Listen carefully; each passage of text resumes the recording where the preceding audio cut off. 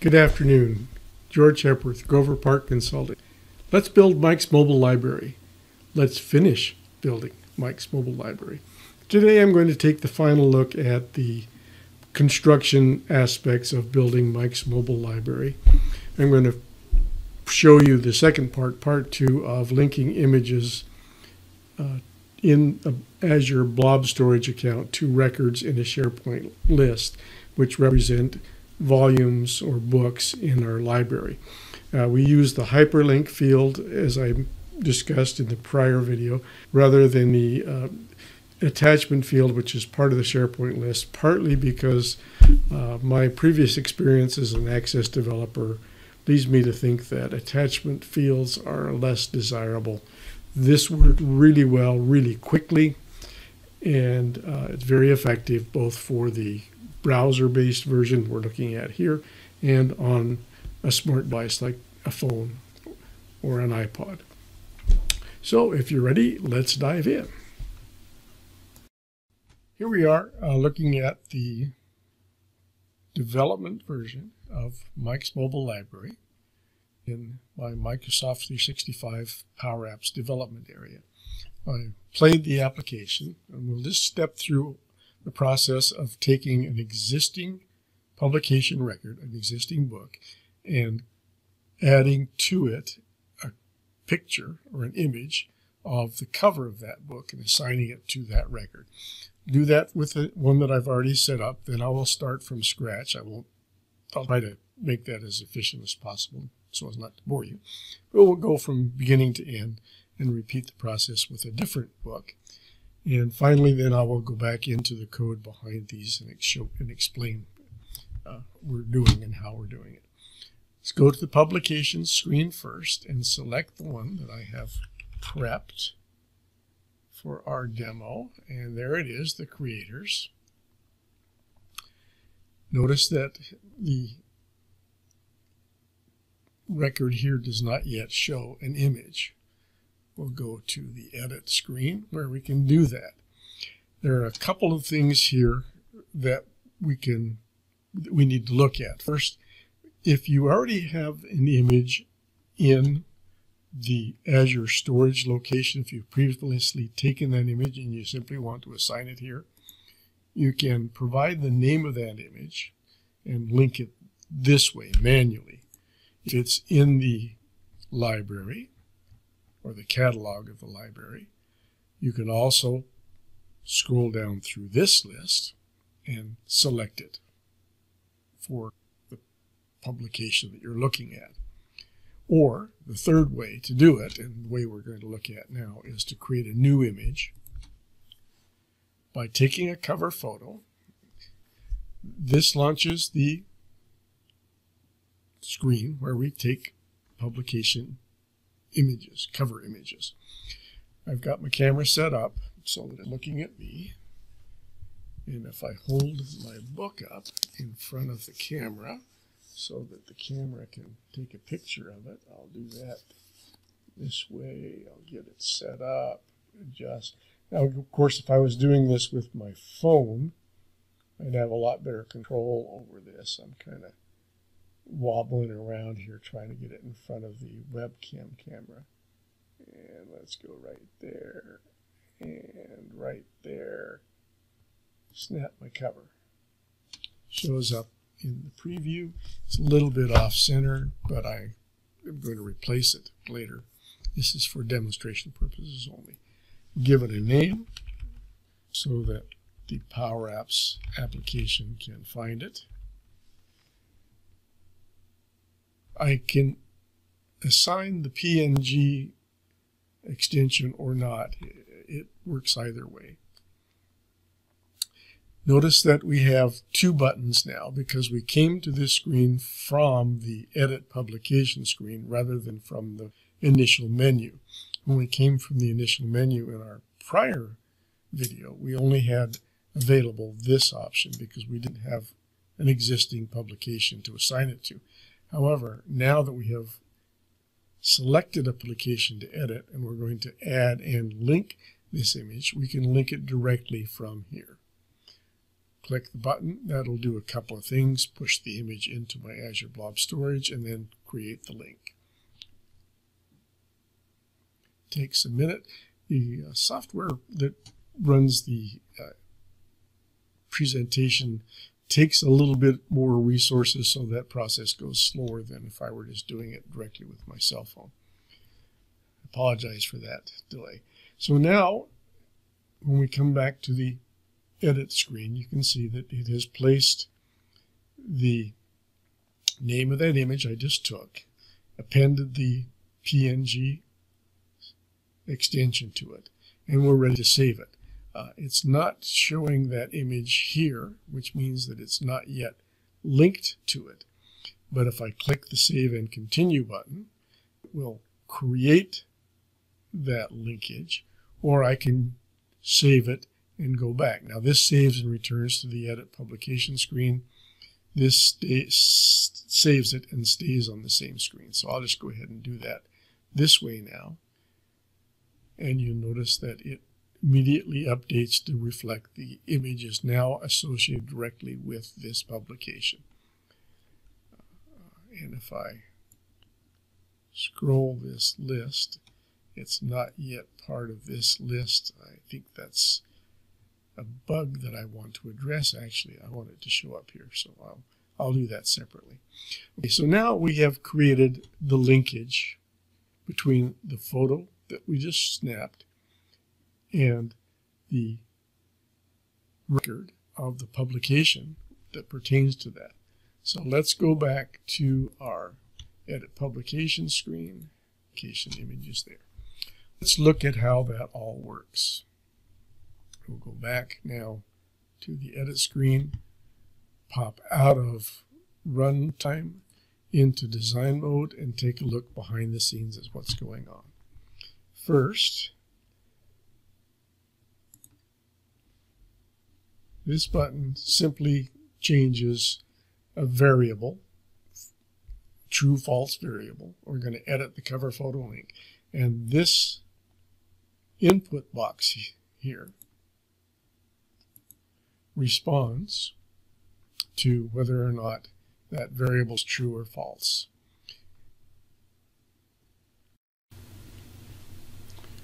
Okay, uh, if this variable we just set is true, in other words, if we click this button and it's set to true, we flip it from true to false or false to true, then a couple of things happen. First, we have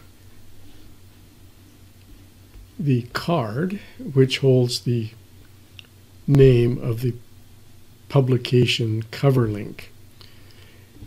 It's set so that its display mode is dependent on the value of that variable. If it's true, then we can edit. If it's false, then it's view only. And this toggles it back and forth between view and edit mode. The other thing that happens is that we have an additional label here, which is normally invisible. It also responds to the value of that variable. If var edit cover photo is link is false, then it's invisible. If it's true, then it's visible.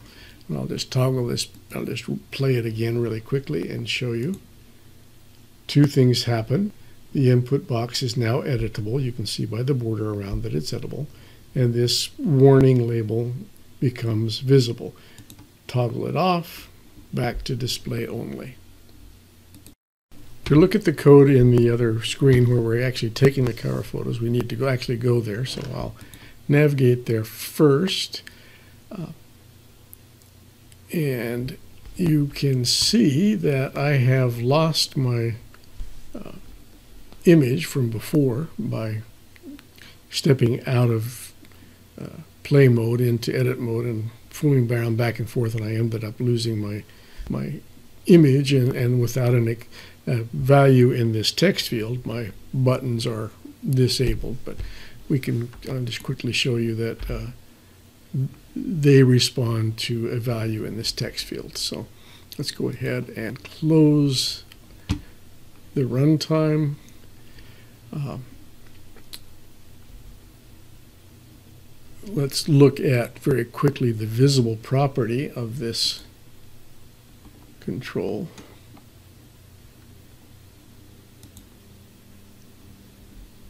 It's true. And the display mode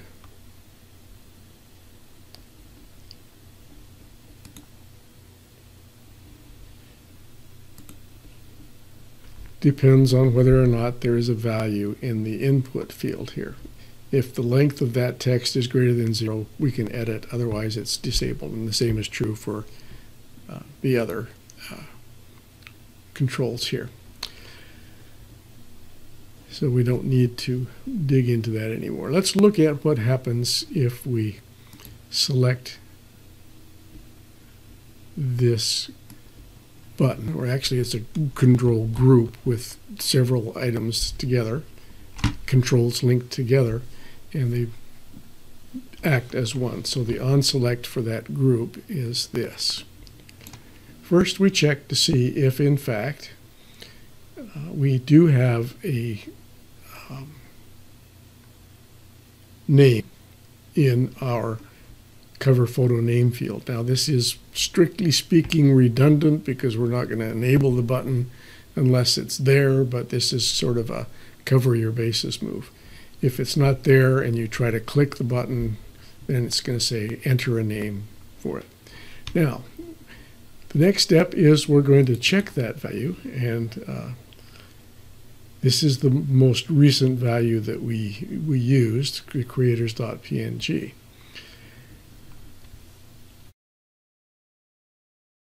this conditional basically says if there is already an extension, if you find the dot in that text, and it's just a D because we've replaced it with the our test here.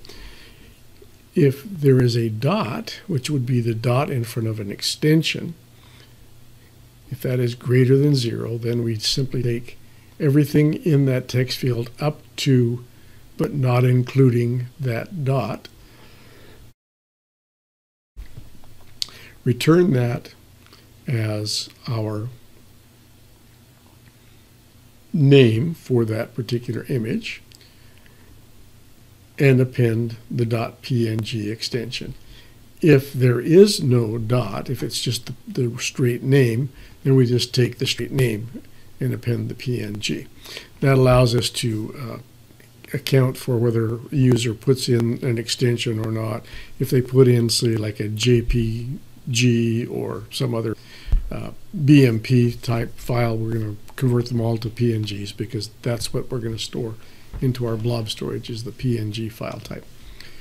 The next thing it does is it runs the create file action from our connector to Mike's library images, and that's the connector to the Azure Blob Storage we looked at in the last uh, video. Creates a file in Mike's library using that cover photo name, and that is the one we're, we're working at. And it's going to use the image that comes from our image control there. And varchov pic, as you can see, we set that variable when we click the snap cover button, we update it to the stream coming from the camera. Then we set this image to that value, which is still the image. And then when we save it to the library, back to this line. So our Azure Blob Storage connector, we create a file. That's one of the actions you can use when you have that connector. We put that file in Mike's library. We use the name that we just created, and we use the image or that stream from the camera as the value that goes in, or stream the image that goes into storage. Then, because we are saving from an existing publication and, an, and a new or an existing image, we set another variable, although I won't uh, go through that. That's a little obscure for this point. Now we have, again, at this point, we have to update our storage, excuse me, our list of files from the storage, and we use the list folder v2 action on Mike's library images connector to recreate or regenerate or refill this variable with all of the images so that when we look at them in our lists elsewhere, it will be complete. So I'm going to go back real quickly, for example, and show you that uh, this gallery here is based on that list we just generated. So when we come back and look at this, this list should now include all of the images which are currently available in our blob storage. So that's pretty much it as far as the, the steps we're, we're going through to take an existing publication, assign, create a new image, taking a picture of it with the camera, and then assigning that image to the link in our list. I think the last thing I want to show you before we move on to another example is in the publication list or table how that actually appears. And as we said earlier in the other video, and I'll repeat it here for, for completeness, completeness. We do not use the built-in attachment field in SharePoint lists. I'm not real comfortable with that. Uh, bad experiences in Access trying to do that, and I just shied away from it, although I'm sure it would work just fine. But we're using a link which links a specific image at this URL to this publication. Specific image at this URL to this publication. Okay, I think we have one more thing to look at. Let's run the application again.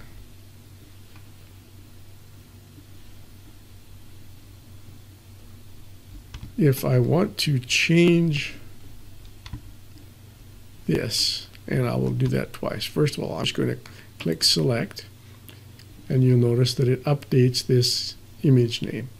If I go ahead and save it, now it will update that link in the SharePoint list to that incorrect image. And if we go back again to our list,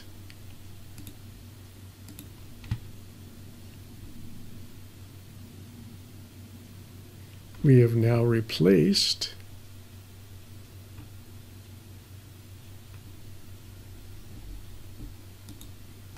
the image.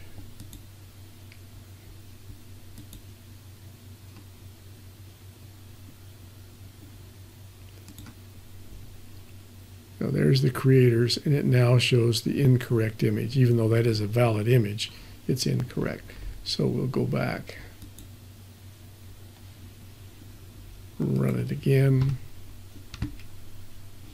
We're looking at the creators. We'll scroll down our list of images,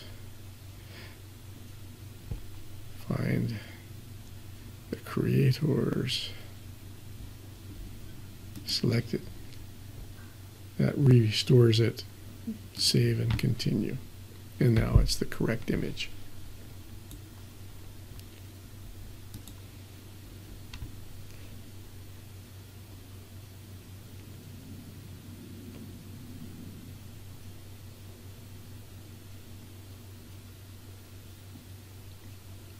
Okay, there it is. So that is pretty much everything we need to see. As you can as you can tell, there, there are several coordinating steps to make this work the way we want it to work, including uh, taking a cover photo, depending on whether you're coming to a new picture that's never that's not associated directly with a file with a with a book or not. Uh, whether we're changing or adding now again, if I were to take new new pictures and replace some of these, as I said, some of these that I don't like, I'll replace them later. But then all I have to do is replace this old bad one with the new good one. Then I can delete that image from my uh, storage location and move forward. Now, for example, this guy here uh, misspelled the name, so I probably that will be one candidate that I will uh, replace with a correctly named uh, image. At this point, I think we have seen pretty much all of the relevant parts. Uh, so, with that, I think we can kind of uh, wrap up our work today wrap up our review of all of the moving parts in this application. I hope that you have found something useful in one or more of the videos. Uh, I'll come back in a final wrap-up video and, and maybe uh, re re review some of the lessons that I learned, some of the pros and cons that I picked up as I was working with different things. As I mentioned, Several times I found working with lookup fields and SharePoint lists really troublesome.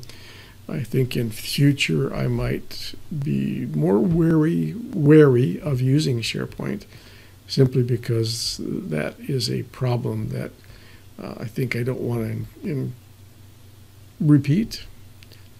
If, if there's an alternative, Dataverse might be a better alternative.